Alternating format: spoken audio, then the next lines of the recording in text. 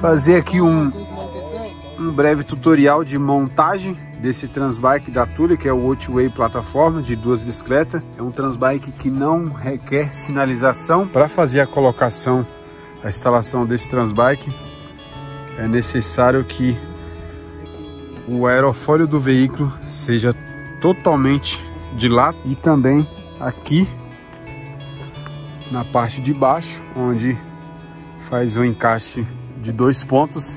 Ele vem com dois estilos de adaptadores, que essas peças aqui elas são as bases superiores. Então vem, vem duas retas e duas nesse estilo que seria. Isso aqui é para carregamento em carros sedã. E aí ele vem com os dois braços, um menor e outro maior.